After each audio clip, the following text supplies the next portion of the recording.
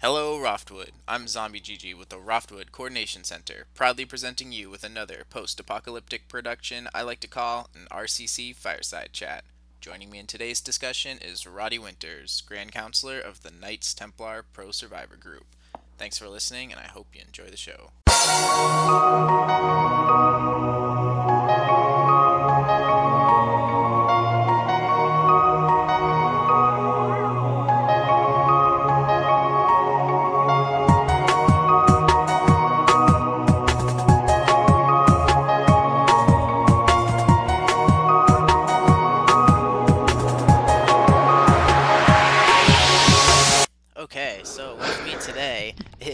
Roddy Winters, Grand Councilor of the Knights Templar. Roddy, Hello. welcome to the RCC Fireside Chat.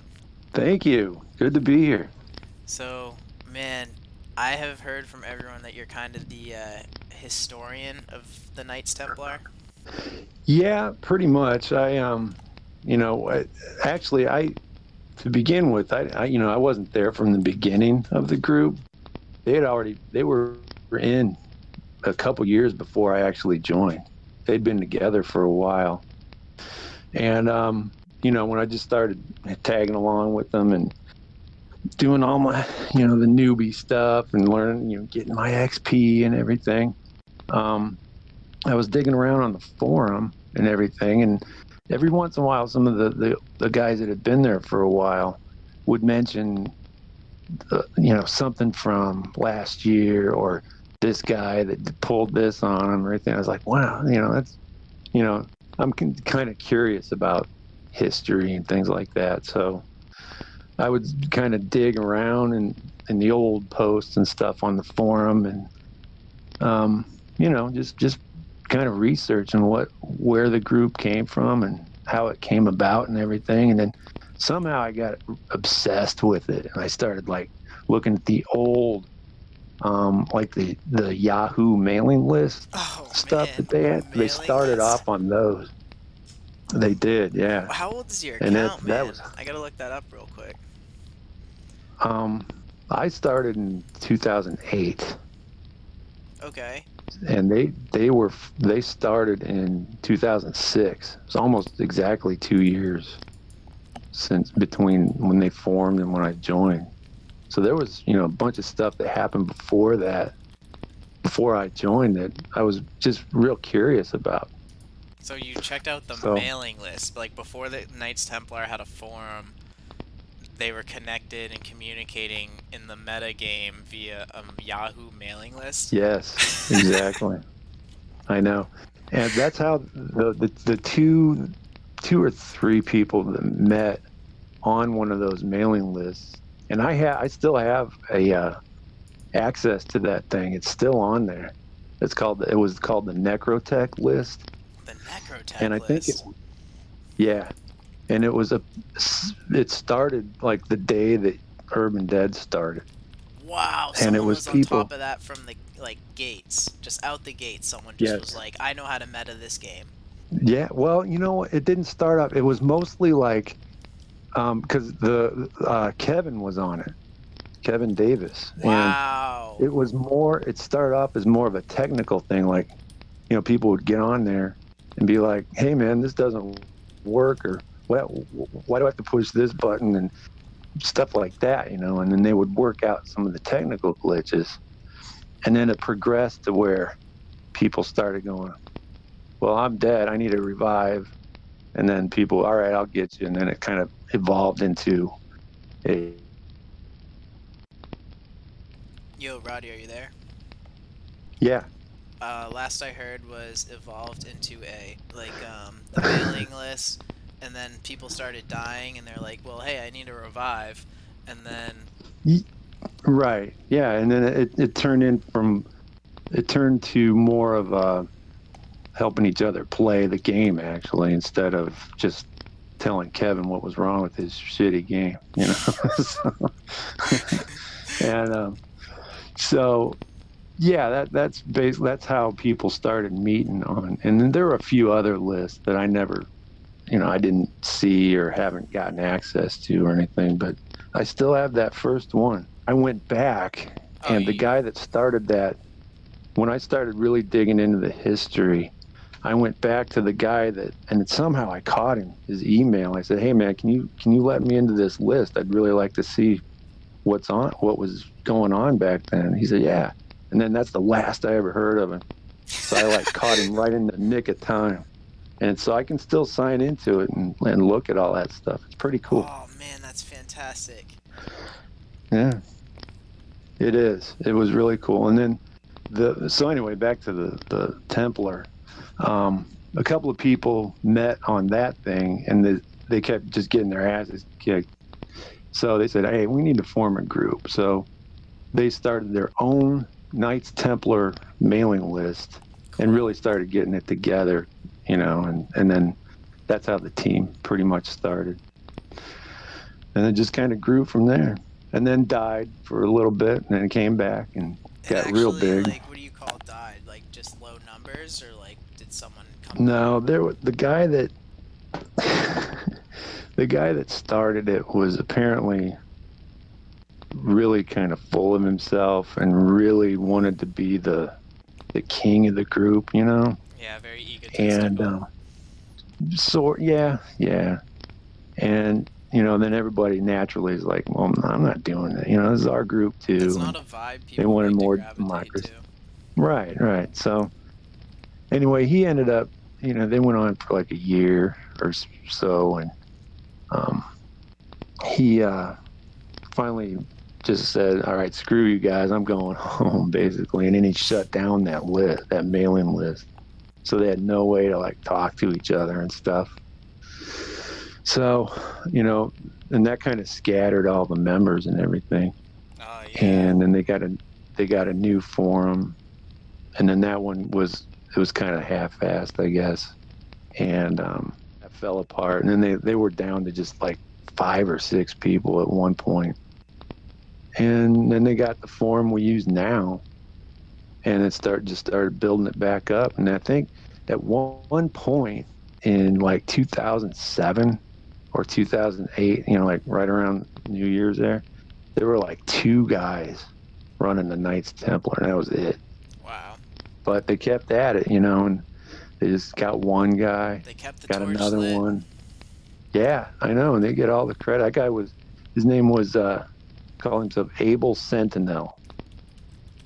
Able Sentinel keeps the torch lit and He what did. 2007 2008 and then you show up you just had your 10 year i see by the way i got your profile up july 9th 2008 was when uh, the legendary roddy winters had his debut in malton Yeah, yeah, and it was by the time I joined, it was it was really building up. There Nice. were a good probably 10, 15 guys, and they were tight. You know, it was a tight fighting unit.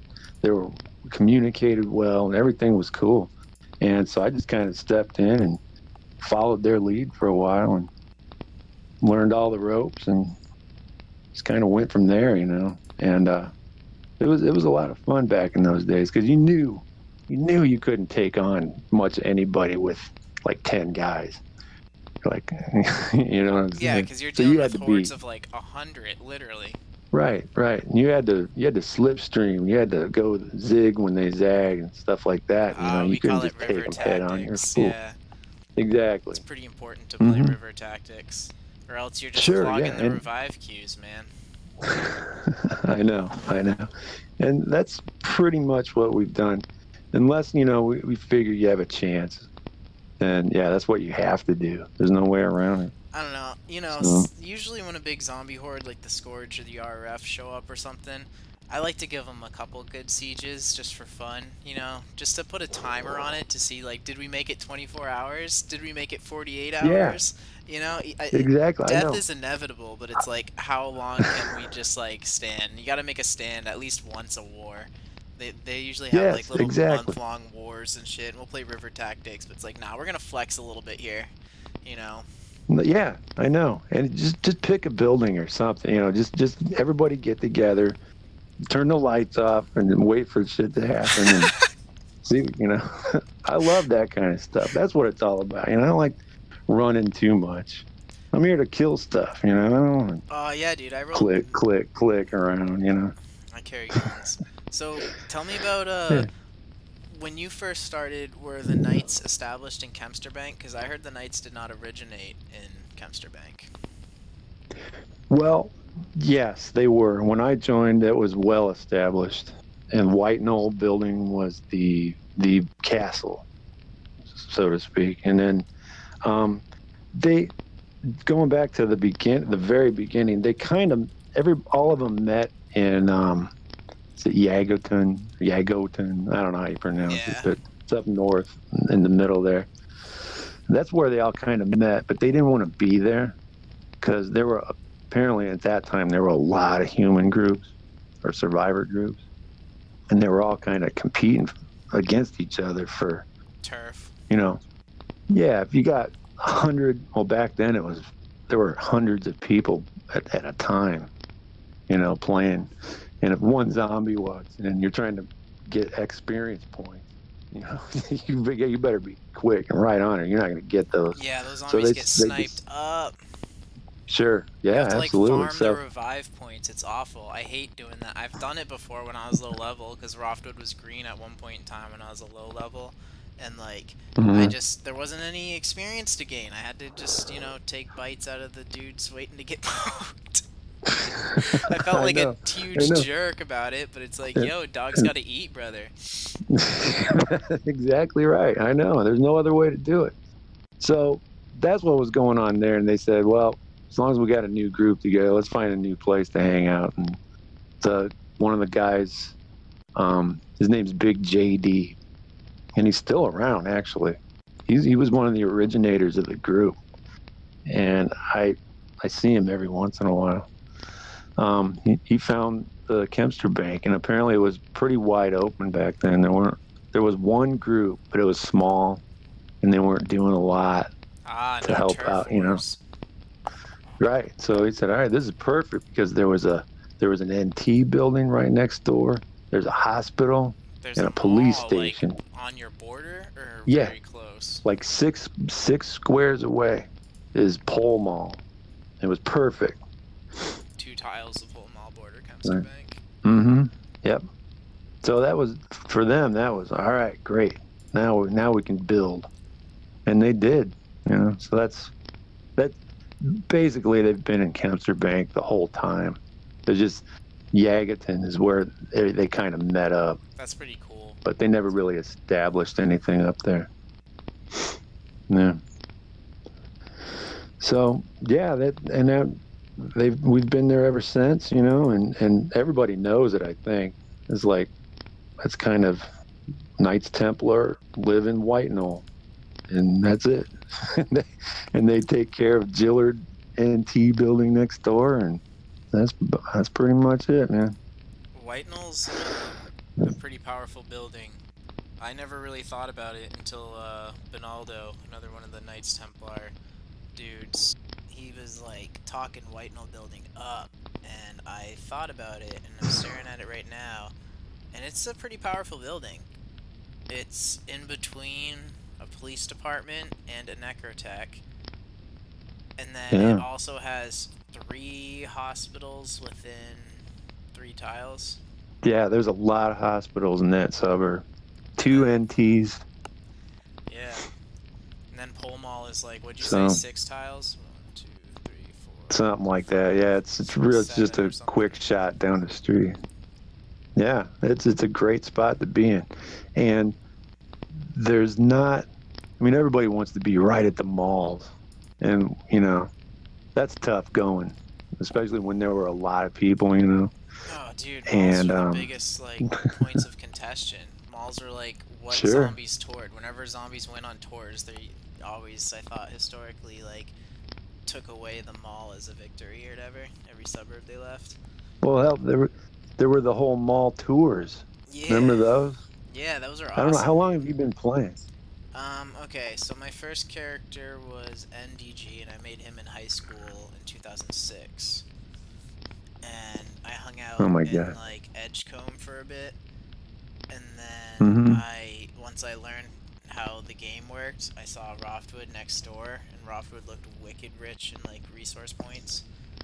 and so I just Mhm. committed to Roftwood forever. And the Malton Medical staff, I befriended those guys like back then and stuff. They had a hilarious culture where they play very pacifistically, and I play like very militaristically. I don't know. I like to shoot stuff Mhm. and kill things. Yeah.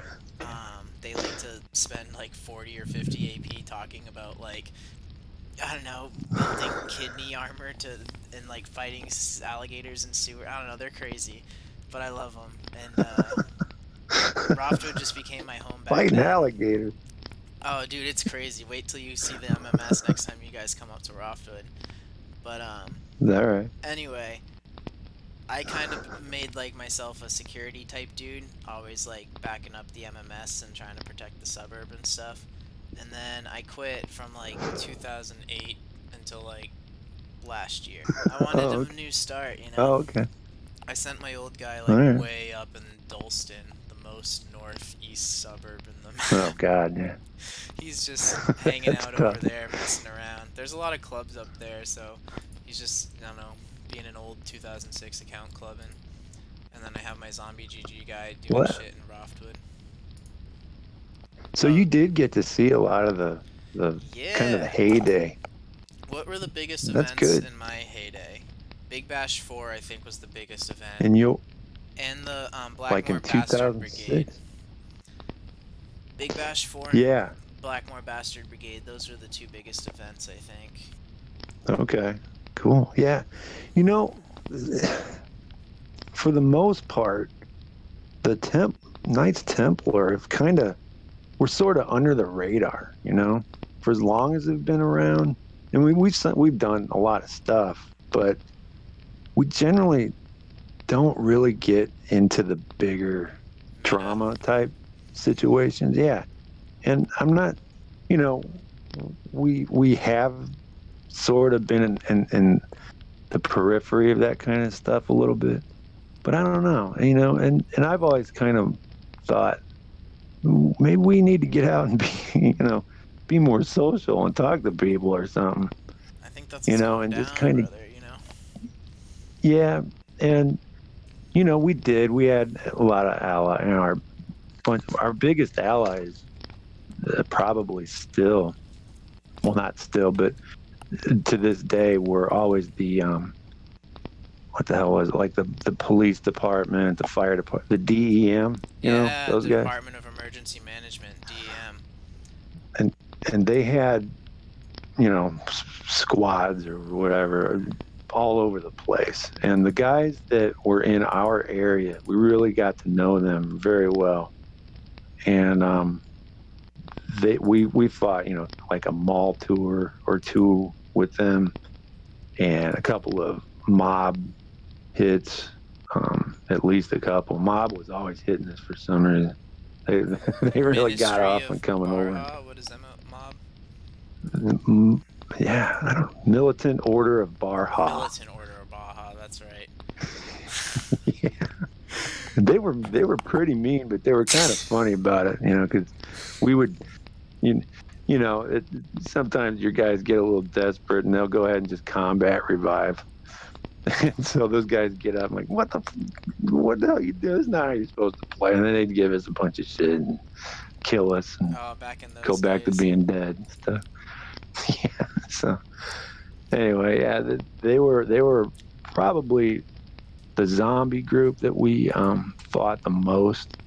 One one time, our our old leader, the guy that that flipped out and killed the board and all that stuff, he the, the mob attacked Kempster Bank, wiped everything out, all of us out. And apparently he came back and shot a couple of them as they were leaving, you know. Yeah. And then he he got on the wiki page and started mouthing off, "Yeah, we drove off the mob." and Oh no. they no, came, they went no. running. So they said, "Oh yeah," and they came back Yeah, and just, that's what's gonna happen when you do that shit. oh. and they were there for like a month and a half. Nothing could get done, you know. It was that was Just That sounds the funny, place I mean. into the fucking ground. yeah. There was nothing, not a generator, nothing was going on there. It was awesome. Oh, the Scourge done that to us twice now. Since I what? Since I came back, I pretty much just straight up started the RCC in Discord. Um, I used to have the RCC on like a Pro Boards forum back in like the 2000 like six to eight run that I did, and then like when I came Mhm. back last year, I just straight up made a RCC Discord, and um, luckily I got Benigno back. I don't know. Do you remember Benigno? I think I was I was no, but I was talking to him today. Defenders. Do you Oh, remember the okay. Zone Defenders at all? Is that the the DZ? What, The was it the DZZ or something? SSZ, yeah. Survivor Security Zone. And that was yeah, that was pretty much like the the circle of malls up there Yep, exactly. in kind of the middle of the board. Yeah, yeah. Yep, and so that was like his thing. That was a pretty big group back in the day, and uh, I, he Mhm. was still in Roftwood when I came back, and I was like, "Yo, you're like Benigno, leader of the Zone Defenders, just defending Roftwood as an independent." And I was like, "Brother, help me! Like, let's do this thing. Let's do like the Roftwood Elite, and it'll be like, you know." And he was down, and he's just been my second-hand man since like the RCC started. Ah, that's great. So I run this crew called the Roftwood Elite now. Benigno's like my second Okay. man. I got a couple real life friends that play with me, and then we just got some ah, dudes that's that good. recruited. You know, because we're pretty militant, so we're like usually where the action is, and so that means we see like the other people who are like in the action, and you know after you see like some other locals who are just constantly like, you know, in the spots where they're probably gonna die, you get respect for that shit. It's like, yo, brother, like you Yeah. wanna fucking like join us on Discord? You're like pretty badass. And so that's like how I pick. I only pick the dudes who are consistently just showing up in like the most dire situations. But someone's got to do it, Mhm. man. You know, it doesn't matter. Death, you Yeah. just get revived. There's tons of people who just have ton. Their inventories are filled with first aid kits and needles, and they're just looking to patch people like me up. So we just throw ourselves in ridiculously suicidal situations and make the best of it, and that's how we recruit people. The other Mhm. guys who show up in those situations. We're Dude, we hang out Yeah. together all the time anyway. Nah. Might as well throw our tags on and get in the Discord, you know. Sure, yeah. Absolutely. Sure. That's that's always, you know, th- that's the main goal anybody really has. If you start a group or get you know, you get uh, into the upper ranks of a group, the thing the first thing you want to do is, man, I want to I want to be 70 strong. You know, I want to have a friggin' army behind me. Let's go. You know, and you charge into battle and save the day. Yep. Well, that's tough sometimes because half of them are just wandering, you know, like level two. And what do I, what, what? You know, and they're trying to keep everybody straight. then, then the whole, as far as getting into like leading a group, then you you spend more time emailing or you know back in the day emailing or on your forum or chats or whatever just telling everybody okay you go here do this and hide here. You go here do this hide that. You heal me or bring me back to life or whatever. And it's a lot of that. You you spend three hours doing that kind of stuff and then you spend the next 48 seconds actually playing the game and then you're done. Let's do it all again tomorrow. You know so it's like oh man but it's fun that's that's the part i've always really liked about it the most is the people you know The community, man, I'll- it's the best part of this game. Yeah. 100%. absolutely and i you know when you stop talking about the actual game and you get to know some of these people they're all over the world you know we've had people from uh, a lot of english people australia south africa we have a bunch of like eastern european south america was big for a while and it's amazing that you can all kind of just you know get together and, and do something. And, and i've always loved learning about where people are from and stuff like that and what they do and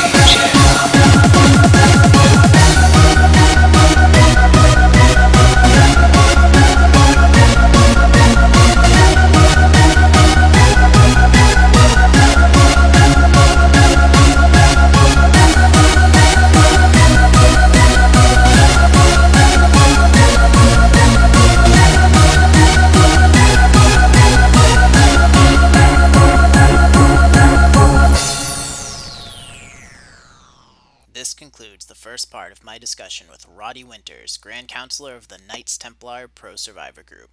This RCC Fireside Chat is a post apocalyptic production proudly presented to you by the Roftwood Coordination Center. I'm Zombie GG, and Roftwood, the pleasure's been mine.